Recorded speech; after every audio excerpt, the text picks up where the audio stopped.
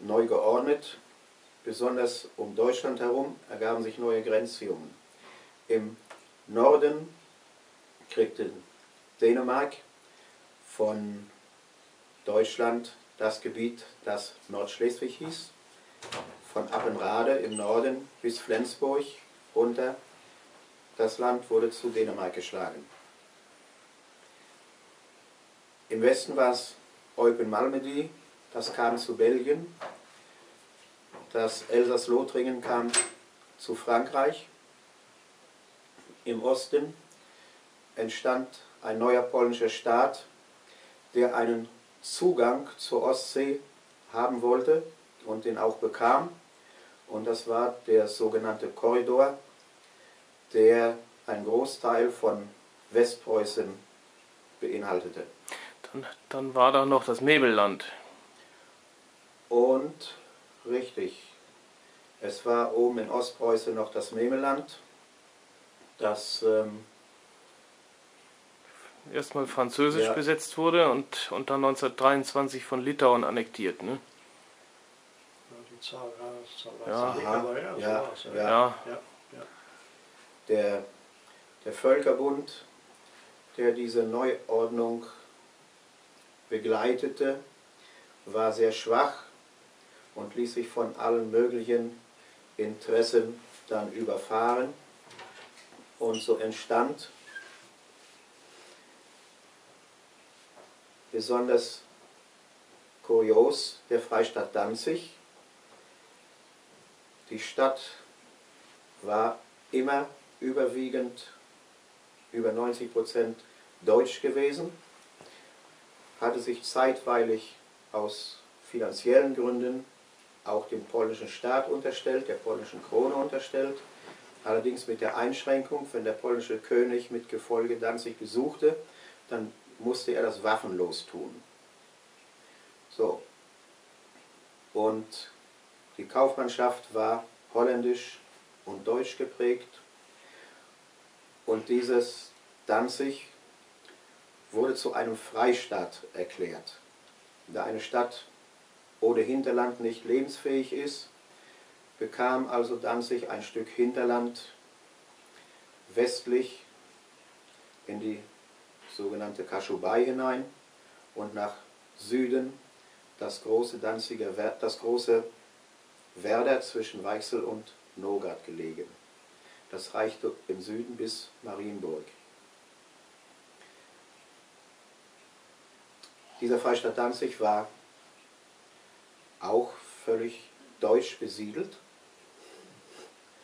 Und die Bevölkerung war nicht für diesen neuen Staat, fühlte sich immer zum Deutschen Reich gehörig und suchte nun nach Kräften zu überleben und die Verwaltung dieses Freistaats Danzig war sehr zusammengewürfelt, so wie der Völkerbund eben auch recht bunt war. Die Finanzhoheit hatten die Holländer, Post und Bahn beaufsichtigten die Polen, die auch die Außenpolitik für den Freistaat Danzig wahrnahmen, was dann dazu führte, wenn die Stadt Danzig ein Gastspiel aus Berlin einladen wollte, dann musste sie das dem polnischen Außenminister unterbreiten, der das dem deutschen Außenminister in Berlin erzählt hat, der dann entschied, dass eine Berliner Oper oder ein Berliner Theater nach Danzig reisen konnte. So kompliziert war das. Kannst, kannst du da was einflicken? ja, Äh, Korridor, da müssen wir dazu, das ist wichtig, meine ich, dass Ostpreußen durch den Korridor vom Reich abgeschnitten wurde. Das war eine ganz, das war eine ganz gravierende Sache. Ja, dass das Ostpreußen nur durch, bei der, über die Durchfahrt durch den Korridor überhaupt erreicht werden Oder konnte. den Seeweg. Oder über den Seeweg. Ja. Ja, der Seeweg Ostpreußen wurde hier dann erst äh, ein paar Jahre später gegründet, ne? weil die Polen ja bei der Durchfahrt äh, der Züge so viel Schwierigkeiten machten. Ja, ja. Der, der Seedienst Ostpreußen wurde zu Zwecken schon der Volksabstimmung gegründet. Der blieb dann bestehen. Ach so. Ja, das, ja. Der Freistaat Danzig war flächenmäßig ja nicht groß. Mit dem Fahrrad konnte man von einem Ende zum anderen so ungefähr in einem Tag bequem fahren.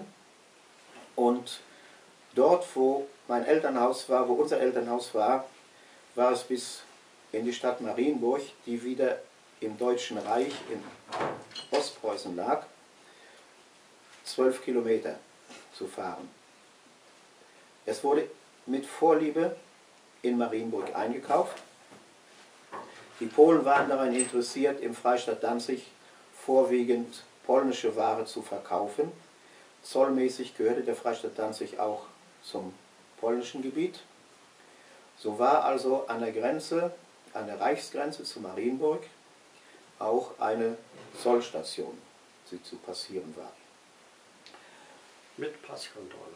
Aus, der, ja, aus dem Freistaat Danzig heraus konnte man diese Zollkontrolle eigentlich problemlos passieren.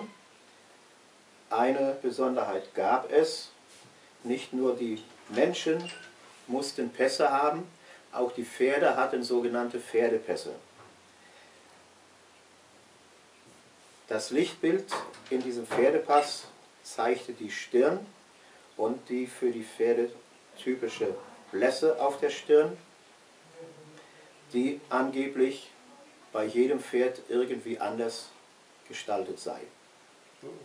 Nicht nur angeblich, tatsächlich so. Die, Und die Farbe, die Farbe. und die Farbe. Und die äh, Polen waren daran interessiert, dass möglichst wenig Pferde aus dem ostpreußischen Gebiet eingeführt wurden, wo es ja die berühmten Trakener gab. Und die Bevölkerung hatte darüber nachgedacht, die Bevölkerung auf beiden Seiten der Grenze, wie man trotzdem im Freistaat Danzig halt gute ostpreußische Pferde haben könnte. Und so gab es Spezialisten, die in der Lage waren, aufgrund des Pferdepasses aus dem Freistaat Danzig einem ostpreußischen Trakener eine typgenaue Blässe auf die Stirn zu malen. Und damit war das Pferd halt legalisiert.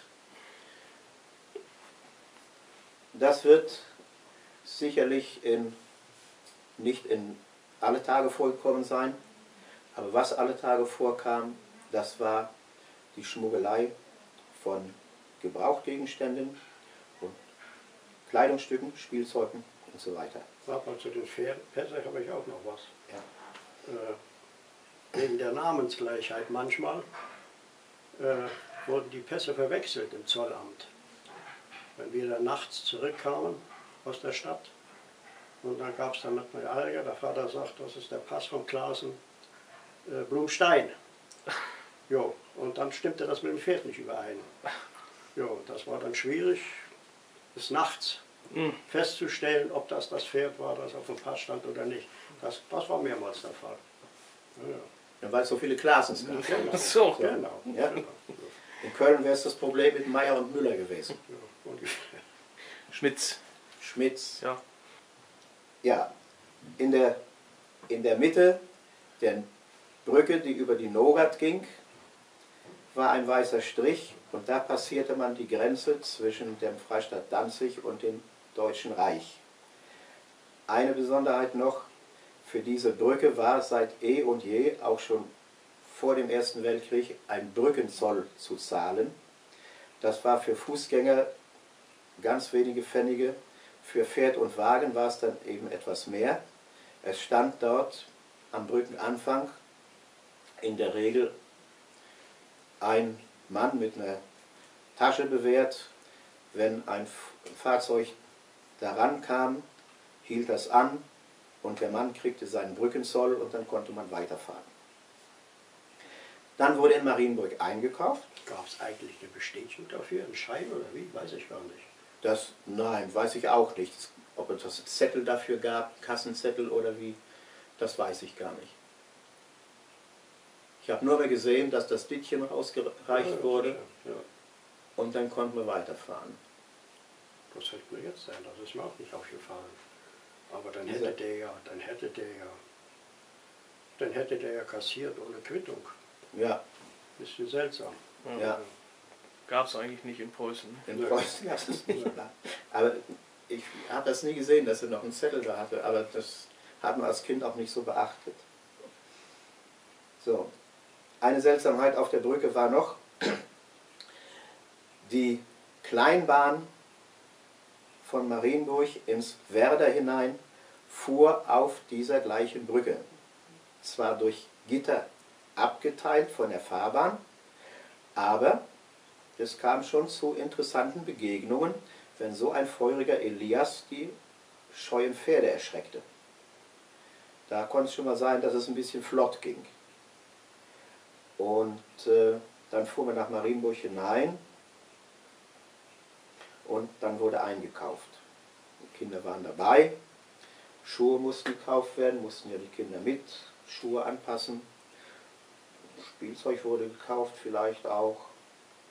Und man musste das ja irgendwo entweder verzollen, was offensichtlich relativ teuer war, vor allen Dingen sehr widerwärtig war, weil diese Grenze ja willkürlich gezogen war nach dem Ersten Weltkrieg.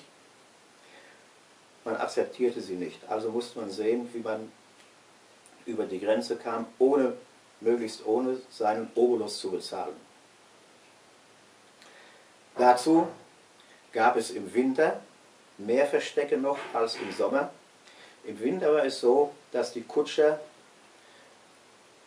lange, dicke Pelze hatten. Fahrpelze, ja. Diese, die. diese Pelze konnten auch einen vor Schneesturm und 20 Grad Frost gut warm halten. Und diese Pelze hatten innen drin Taschen. Natürlich gingen die Taschen bis unten auf den Mantel, auf den Pelzsaum. Alles, was man da reinsteckte, das fiel gleich in unterirdische Tiefen und war so nicht zu orten. Desgleichen die Wagen, mit Pferd und Wagen wurde ja viel gefahren, oder auch die Kutschen, die hatten an den Seiten in den Polstern irgendwo Winkel und da konnte man einiges verstecken. Auf der Rückfahrt konnte es dann passieren, man fuhr vor den polnischen Zoll und der Zöllner kam und fragte, haben Sie was zu verzollen? Hm, Nein, haben Sie gar nicht gekauft in Marienburg? Ja, dann wurden ein paar kleine Sachen vorgezeigt, das war dann alles. Und die polnischen Zöllner ihrerseits hatten ja gelernt auch, dass solche Wagen tiefe Taschen hatten. Da konnte es sein, dass sie mit einem Drahthaken in die Polster gingen und vielleicht sogar Fetzen von hübschen Kleidern hervorholten. Oder auch, dass ein Kind mit einmal sagte, wo sind denn meine neuen Schuhe? Weil die Eltern ja gesagt haben, sie haben nichts zu verzollen. Ja, dann ging es dann zur Sonderbehandlung in, die, in das Zollhaus. Das konnte dann lange dauern, bis der Wagen wieder freigegeben wurde zum Weiterfahren. Es konnte auch sein, dass die Pelze, dass man die Pelze ausziehen musste und dass die abgetastet wurden, ob da irgendwo was drin war. Es konnte auch sein, dass ein, ein Zöllner gesehen hat, wie viel vielleicht da drin war und ihm die Leute auch sympathisch waren und er dann das Zeichen gegeben hat zum Weiterfahren. Unsere Mutter hat erzählt, sie wollten zu Weihnachten irgendwie Spielzeug kaufen und es ging wohl um eine Eisenbahn, die in Marienburg zu kaufen war. Sie hat den Zöllner beim Reinfahren gefragt, wie ist es denn, wenn wir hier eine Eisenbahn in Marienburg kaufen? Ist dann jede Schiene ein Spielzeug und jede Lokomotive und jeder Wagen ein Spielzeug oder ist die Eisenbahn als Stück ein Spielzeug? Und dann hat der Zöllner zu ihr gesagt, wenn Sie bis 4 Uhr nachmittags hier vorbeikommen, dann bin ich hier, dann ist die Eisenbahn ein Spielzeug. Wenn Sie später kommen, sind da Kollegen da, da kann es sein, wie Sie gefragt haben, dass jede Schiene ein Spielzeug ist. So, also dann hat man schon vorher Bescheid gewusst und äh, hat die Zeit entsprechend genutzt. Das heißt also, es gab auch keine einsehbaren und, und einklagbaren Bestimmungen, sondern das wurde an der Grenze völlig willkürlich gehandhabt. Die konnten mit den Leuten machen, was sie wollten. Also das weiß ich nicht. Die werden schon ihre Bestimmungen gehabt haben.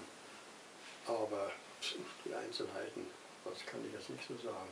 Ich weiß nur mal zurück zum Stichwort Schuhekauf. Äh, mir haben sie dann auch ein paar gekauft, ich war da drüben. Nicht? Und äh, da hat der Vater, die Mutter haben mich unter den Arm genommen dann und haben gesagt, jetzt schlupfst du mal schön die Straße entlang.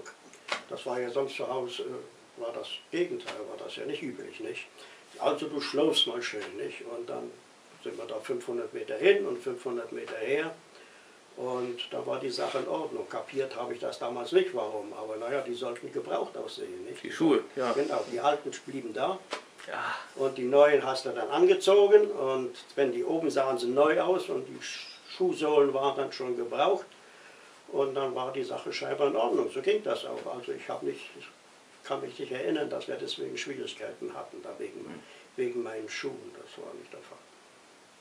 Ja, das sind so Sachen, die, ja. die muss man überlegen vorher, ja, wie man es am besten macht. Naja, und dann geschmuggelt, ja noch einmal auch hin und her. Wir hatten ja auch Verwandte in, Verwandte in Marienburg und wenn wir dahin fuhren und dann wurde ihnen das mitgebracht, äh, Butter oder Fleisch oder beides und äh, das musste dann auch gut versteckt werden dann. Oder was, oder na, versteckt werden muss das, hin, hin wäre das so gekommen. Aber sie haben das, ich weiß es, äh, das war der, der Verdeckwagen, der hatte Fenster wie am, an, an, bei der Eisenbahn, wenn die hochzogst, da konntest du die runterlassen dann. Ach ja. Konntest du die versenken. Und in dem Schlitz ist scheinbar Butter versteckt worden. Und die haben sie nicht mehr rausgekriegt. Und im nächsten Sommer, im nächsten Sommer ist dann rausgetropft. dann war sie draußen. ja. Herrlich. Ja, das waren schon, also man, da habe ich vor kurzem habe ich ein Buch gelesen, von, gerade von dem Klaas und Blumstein. Äh, denn das auch sehr, die wohnten noch näher an Marienburg, da gingen auch die, die Kinder gingen in Marienburg zur Schule. Ja. Und dann sind die sind öfter dahin gefahren und das hat den auch gewaltig geärgert, da die polnische, der polnische Zoll. Und dann hat er mal ein Päckchen gepackt mit Kuhmist und hat das gut, hat das gut verpackt. Äh, und da war beim Zoll und ja, was ist, was ist hier? Äh, ja, da ist was von der Kuh drin. Und da hat er das aufgemacht. Da hat er vermutet, irgendwie Fleisch oder was Geräuchertes oder was. Da hat er das aufgemacht, hat sich die Uniform bekleckert. Und hat gesagt, also, oder Fuchsteufelsbild. Ne? Ich, ich habe doch gesagt, da ist was von der Kuh drin. Hat er, hat er dem entgegen. Ich weiß nicht, was für Konsequenzen das hatte, aber das war auch eine Idee. Ja. Mhm. ja. ja fällt mir gerade erst ein. Ja. ja, sehr gut.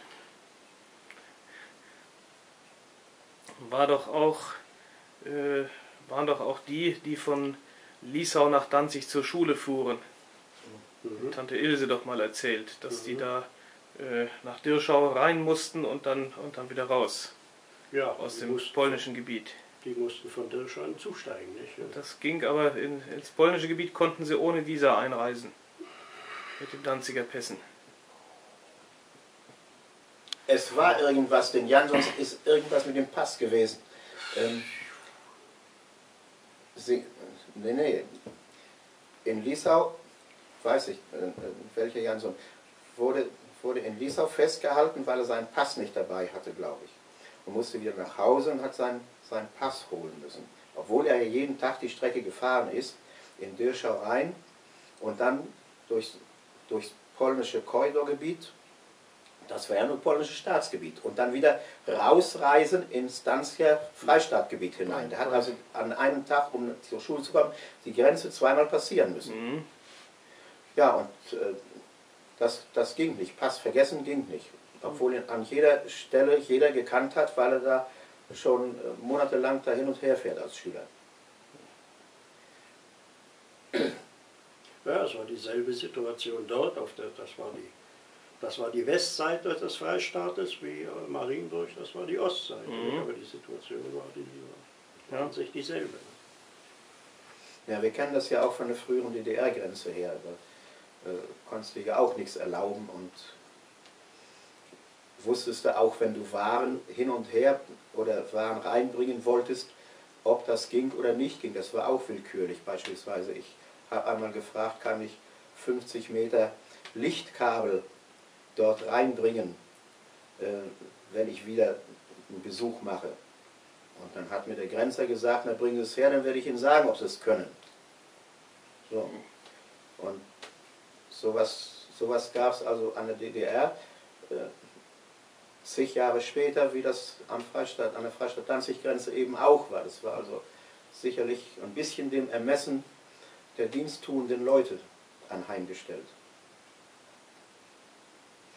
Also ich weiß, der Vater wusste manchmal, welcher Grenzer Dienst tut.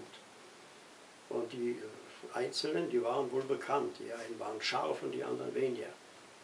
Und äh, wie er das wusste, weiß ich nicht musste ja irgendwie musste er einen Mittelsmann gehabt haben, der, der, mit dem er da äh, telefonierte.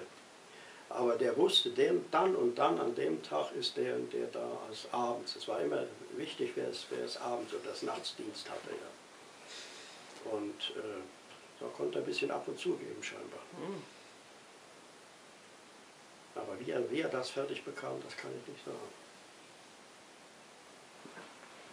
Also äh, mir ist in Erinnerung, dass ich geweckt wurde von der Mutter, aber das war nicht um vier, das war erst um sieben.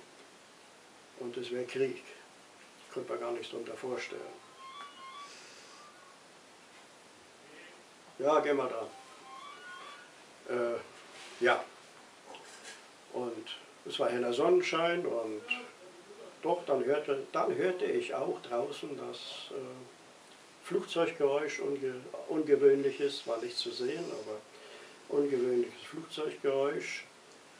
Und äh, am Mittag mit einmal kamen Flüchtlinge, Drecks. Die wurden auf dem Hof verteilt, im Dorf verteilt, auf dem Hof verteilt und haben die, haben die Scheune und den Kuhstall, der ja leer war, die, es war September, die Kühe waren auf der Weide, Tag und Nacht, und da wurden die Gebäude belegt. Wo kamen die her, die Flüchtlinge? Die kamen aus der Gegend von Liesau. Palschau oh. und wie die Dörfer in der Gegend heißen, da wurden die evakuiert, scheinbar schon in der Nacht und sind die losgezogen. Äh, ziemlich unvorbereitet. Das ist mir erst nachher gekommen. Nicht? Und dann haben die auf dem Hof haben die abgekocht und haben sich dann äh, Strohlager bereitet. Und das waren, ja, das waren an sich so Flüchtlinge, wie wir dann später, später 45 davongezogen sind. Also das äh, ist mir noch in Erinnerung. Was wurde aus denen? Die sind nur zwei Tage geblieben und dann hat sich die Front schon, das ist ja ganz schnell, hat sich die Front verschoben und da war die Sache wieder sicher und dann sind die nach zwei Tagen sind die abgezogen. Waren die Verwandten wieder, da auch dabei? Wieder nach Hause. Nein, nein, war nicht. Nein. Äh, ob das schon vorher, ich weiß es nicht, ob das vorher irgendwie äh, organisiert war, das kann ich nicht sagen. Aber das verlief alles ziemlich ruhig und allerdings der Hof hat gewimmelt von Leuten, was war völlig ungewohnt. Nicht? Und Fuhrwerke standen dann da und die Pferde mussten versorgt werden. Ja, das war was ganz Ungewöhnliches. Aber das hat sich nach zwei Tagen wieder normalisiert. Die zogen wieder nach Hause und äh, die Sache lief wieder weiter wie bisher. Und das, das war der Kriegsanfang, aber sonst äh, haben wir vom Krieg nichts, gar nichts gemerkt. Mhm. Außer dass der Vater, der wurde urplötzlich eingezogen. Ja. Ja. Ja, wie hast du das erlebt? Ja, ich habe im Gedächtnis noch das war in der Nacht, es, es hat gerumst. Mächtig und irgendwie war das anders als Gewitter, habe ich das Gefühl gehabt. Und dann habe ich unten gesessen in der Essstube ich weiß nicht, in welchem Zimmer ich im Bett geschlafen habe. Wir haben offensichtlich nicht im gleichen Zimmer geschlafen. Ich weiß, ich saß auf dem Sofa in der Essstube und kriegte dann erzählt, ja im Moment, äh, also jetzt ist Krieg. Und dazwischen immer wieder dieses Wumm. So. Und konnte mir natürlich im Krieg auch nichts vorstellen. Ja, man hatte in, ähm, man hatte mal was gehört, aber so. Ich weiß auch nicht mehr, dass der Hof dann mit äh, Flüchtlingen voll war. Ich weiß bloß noch wieder, dass dann irgendwann jede Menge Soldaten zu Fuß und auch beritten durch das Dorf zogen und dann auch in unseren Hof hinein und dort im Stall und Scheune übernachtet haben. Und es war natürlich für uns, ich war damals fünfeinhalb Jahre, wahnsinnig interessant, was da alles so ablief. Und im Stall weiß ich noch, da waren ein paar Soldaten, die haben mit der Pistole Übungsschießen gemacht, die stellten sich da eine Blechdose hin und haben dann die, auf diese Blechdose geschossen. Und mich haben sie ein bisschen weiter nach hinten gejagt, äh, weil ja die Gefahr der Querschläge auch bestand. Also durfte meine Nase nicht zu nah an der Blechdose haben. Und ähm, ja, die haben sich auch bekocht, Gulaschkanone und so weiter. Und ich weiß auch noch, dass für die ähm, Soldaten ein strenger Dienstbetrieb eingerichtet war. Die waren ja zwei oder drei Tage bei, bei uns. Die waren länger. Ja, das kann sein. Oder sie haben gewechselt. Ja, oder, ja sie haben gewechselt.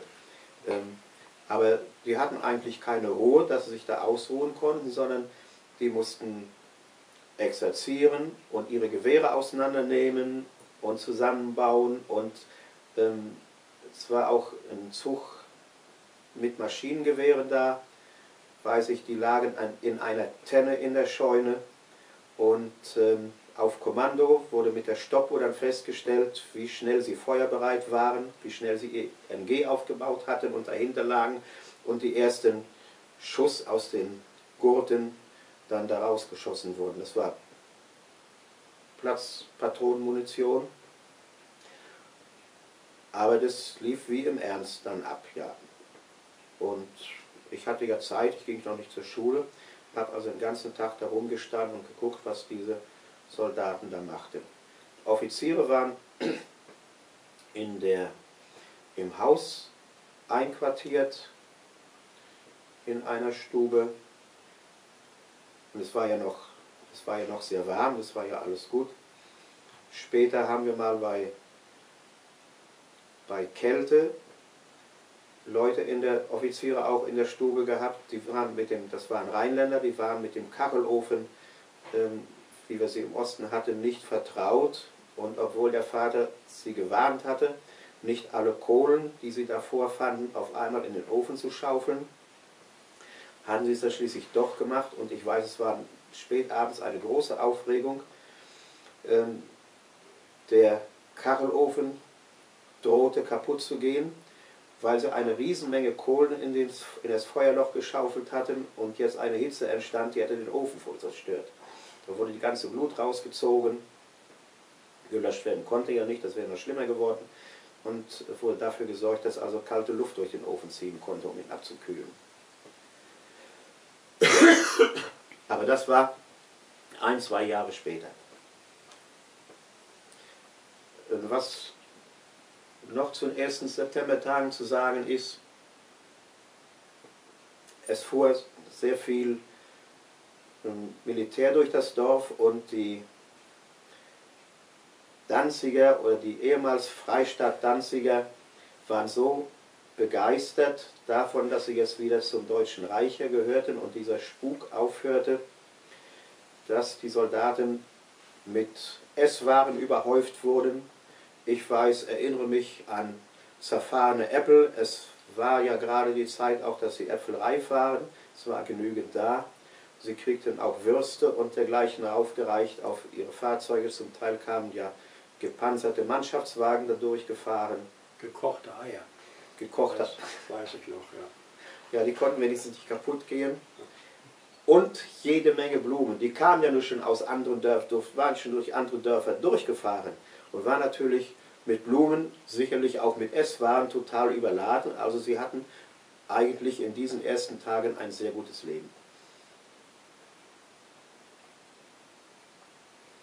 Ich weiß von der Einkartierung noch, äh, ich war ja auch viel bei den Soldaten und äh, die hatten Kaltverpflegung dann des Abends. Und dann gab mir mal der eine aus der Büchse Leberwurst, Brot mit Leberwurst zu schmecken. Ja, die war gut. Habe ich dann noch ein neues Brot verlangt oder hat es mir so gegeben, wie er gemerkt hat? Weiß nicht. Jedenfalls habe ich mich dazu gesetzt und habe dann seine Leberwurst gegessen. Und da hat die Mutter das gemerkt. Da hat die mich da rausgezogen und mir da eingehend ins Gewissen geredet. Ich dürfte ihn doch nicht das Essen wegessen. Ja. Ja, das weiß ich noch sehr gut. Aber die hat gut geschmeckt. Das war mal ganz was anderes, wie die, wie die selbstgemachte. Und ja, aber das wurde mir dann streng verboten. Ich sollte ihnen nicht das Essen wegnehmen. Ja. Und dann war also die Fahrt nach Marienburg jetzt problemloser, weil der Zoll entfiel. Ja, ja, das war jetzt äh, ganz was Neues, nicht? dass man da äh, vorbeifahren konnte, am Zollhaus vorbeifahren konnte, ohne anzuhalten und Schwierigkeiten zu haben. Ja. Das war, ja. Das Zollhaus war ja ein festes, aus, aus Ziegen gebautes, großes Gebäude und das stand eine Zeit lang völlig leer. Ja, also um, um hier äh, was Endgültiges zu sagen, äh, man war einfach zu jung in der Zeit. Ich war damals, ich war damals acht Jahre alt. Acht. Nee, noch nicht mal. Nein, siebeneinhalb. Ja, na gut, ja. Also um das überblicken zu können, war, einfach, äh, war man einfach zu klein.